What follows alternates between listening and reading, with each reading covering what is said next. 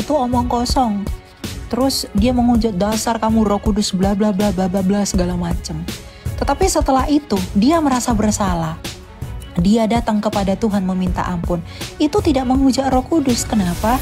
Karena yang membuat dia merasa bersalah sehingga meminta ampun kepada Tuhan itu adalah pekerjaan Roh Kudus.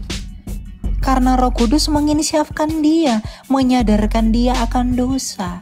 Artinya Roh Kudus ini adalah estafet terakhir. Karena sang Bapa mengutus anaknya yaitu Yesus dan Yesus berkata apa? Akan kuutus Roh Kudus yang keluar dari Bapa. Ia akan bersaksi tentang aku. Jadi kalau Roh Kudus saja kamu tolak, mustahil bagimu sampai kepada Yesus apalagi sampai kepada Bapa. Bukankah untuk sampai kepada Bapa kita harus melalui Yesus? Yesus berkata, "Akulah jalan kebenaran dan hidup. Tak seorang pun yang dapat datang kepada Bapa kalau tidak melalui aku." Di sisi lain, Alkitab juga menjelaskan bahwa yang bersaksi mengenai Kristus itu adalah Roh Kudus yang senantiasa menjadi arabon atau metrai bagi kita orang percaya sampai pada kesudahannya. Jadi Roh Kudus yang dicurahkan bagi dunia ini melalui peristiwa Pentakosta itu adalah jaminan bagi keselamatan kita bahwa Kristus itu menjamin keselamatan kita. Amin. Iya, jadi menghujat Roh Kudus bukan seperti itu definisinya ya menghujat Roh Kudus itu yang yang yang itu tadi, kemudian yang kedua itu adalah murtad sampai mati.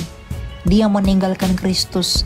Artinya dia yang pernah mengecap karunia itu tetapi meninggalkan karunia itu, beralih dari sana. Itu yang disebut dengan menghujat Roh Kudus. Artinya tidak ada lagi pengampunan bagi orang yang meninggalkan karya Kristus yang sudah pernah mengecap kasih karunia dari Kristus. Jangan salah menafsirkan. Nanti banyak orang tersandung pada akhirnya nggak percaya Tuhan. Gitu. Ya. Ya gitu ya bukan berarti kita ngeledekin orang yang bahasa roh aneh-aneh itu dibilang hujat roh terus dosanya nggak diampuni. Bukan bukan bukan begitu. Karena kita kan nggak tahu itu dari roh atau tidak. Kan Tuhan bilang ujilah setiap roh betul? Iya. Iya. Jadi harus diuji. Tidak. Gitu. Ya. Gimana bang Jeki keren. Keren kalian terima kasih. Kalian kasih pemahaman yang mantap. Mantap banget sih.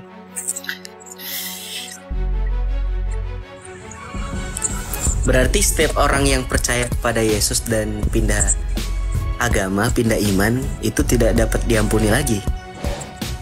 Iya, kalau dia sampai mati itu meninggalkan Kristus itu tidak akan diampuni. Tapi kalau datang lagi kepada Kristus itu diampuni. Tapi kalau murtad lagi dan kembali lagi itu tidak akan diampuni.